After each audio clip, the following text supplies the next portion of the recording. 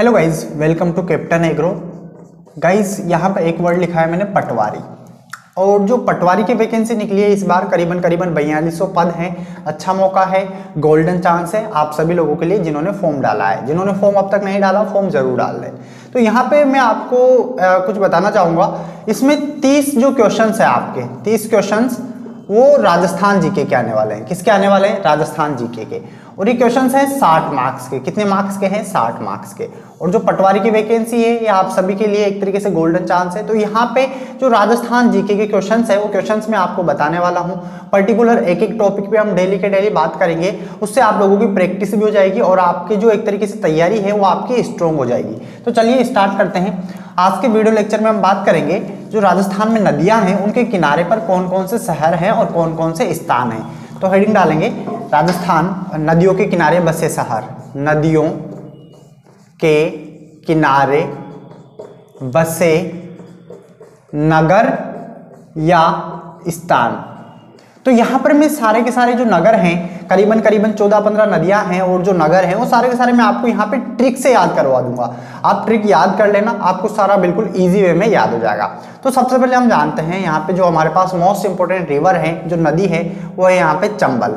चंबल से अधिकतर क्वेश्चन पूछे जाते हैं। चंबल के डाकू आपने सुना होगा, ठीक है? तो चंबल नदी के किनारे पर कौन कौन से शहर बसे हुए हैं? इसकी एक ट्रिक है इसकी ट्रिक क्या है? चंबल के भैंसे कोटा में। ट्रिक क्या है? चंबल। चंबल के भैंसे कोटा में। अब इस ट्रिक से कैसे याद रखोगे? देखो, चंबल तो एक क्या है? नदी का नाम है। किसका नाम है?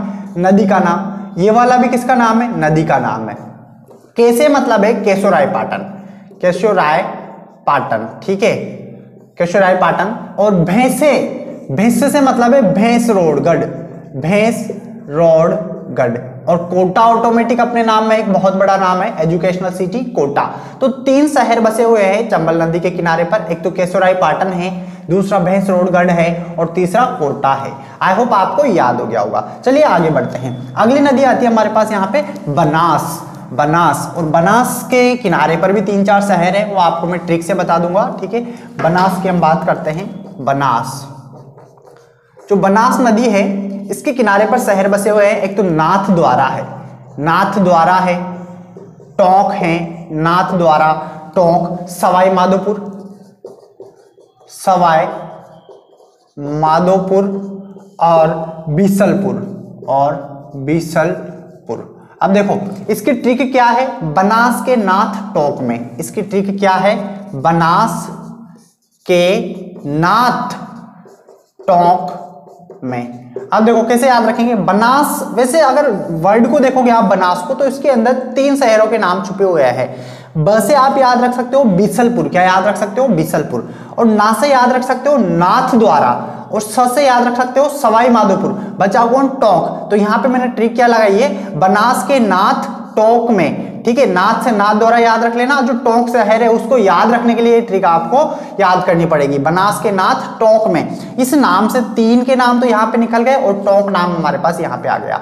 तो बनास नदी के किनारे पर चार शहर है, एक नाथ द्वारा है, टोंक है, सवाई माधोपुर है, बीसलपुर है। आई होप आपको समझ में आ गया होगा। चलिए आगे बढ़ते हैं। अगली नदी आती है हमारे पास यहाँ पर Ghaggar. Ghaggar. Ghaggar most important river है ये भी, घग्गर।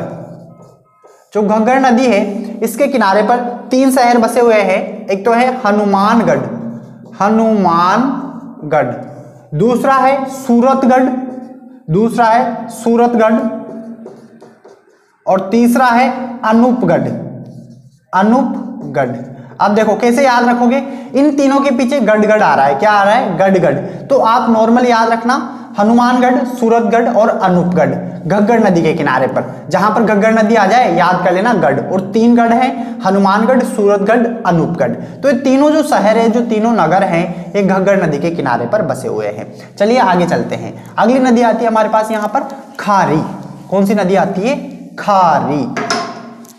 फोर्थ नंबर पे खारी नदी। आप इनको नोट करते हुए ज़रूर चले और वीडियो को लाइक शेयर कमेंट करते हुए ज़रूर चले।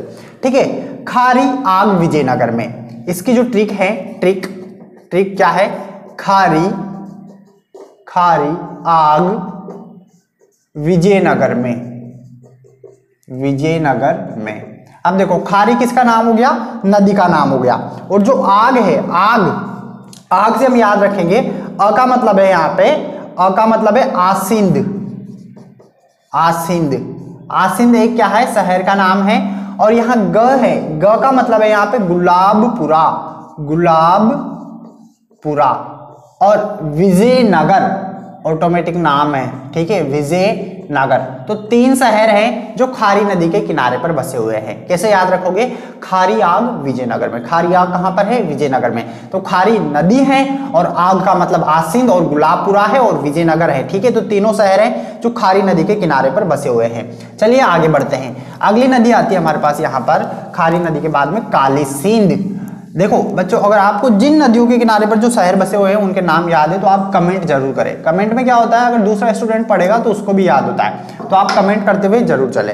अगली नदी आती है हमारे पास यहाँ पे काली सींद अब जो काली सींद नदी है, ये भी मोस्ट इंपोर्टेंट रिवर है। इसके किनारे पर दो शहर हैं, जो दोनों एक ही डिस्ट्रिक्ट के हैं। झालरा पाटन झालरा पाटन अब झालरा पाटन कहाँ पे है? झालावाड़ में झालावाड़।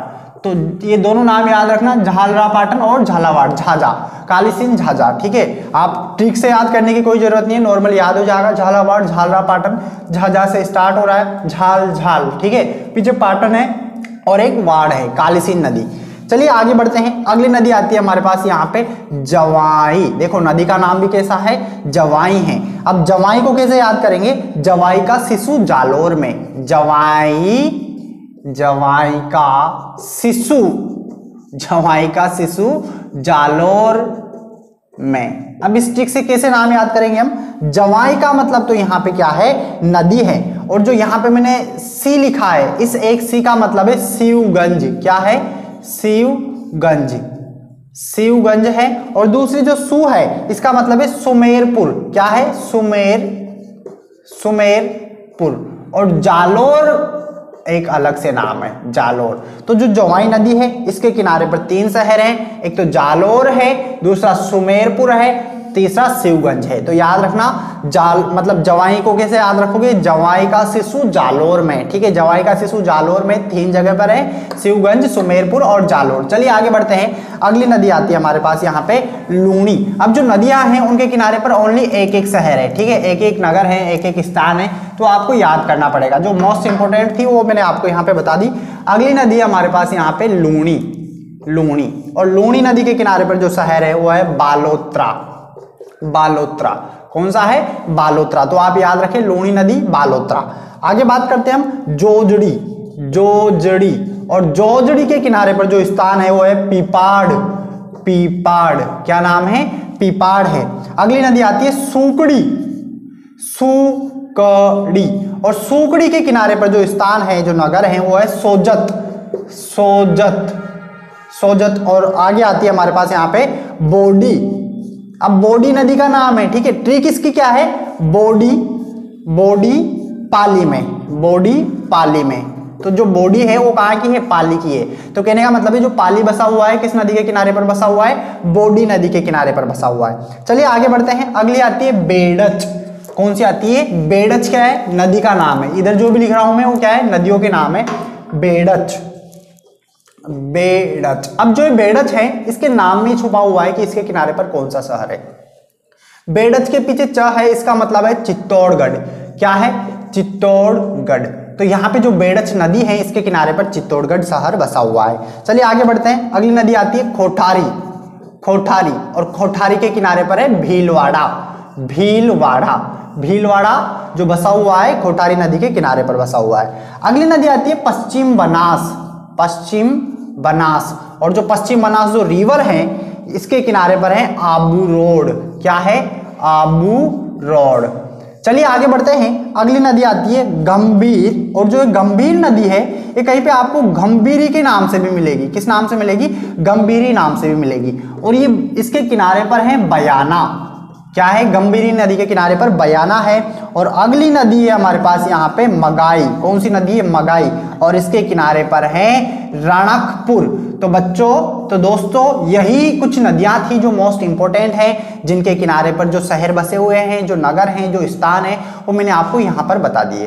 तो गाइज़ अगर आप लोगों को ये वीडियो अच्छा लगा हो तो इसको लाइक करें कमेंट करें, और जो लोग चैनल पर नए हैं, चैनल को सब्सक्राइब ज़रूर कर ले। और पास में जो बेलाइकन है, उस पर क्लिक करें, ताकि आने वाले सभी वीडियोज़ के नोटिफिकेशन आपको टाइम टू टाइम मिलते रहे। मिलते हैं हम नेक्स्ट वीडियो में, तब तक के लिए नमस्कार, जय जवान, जय किसान, जय हिंद।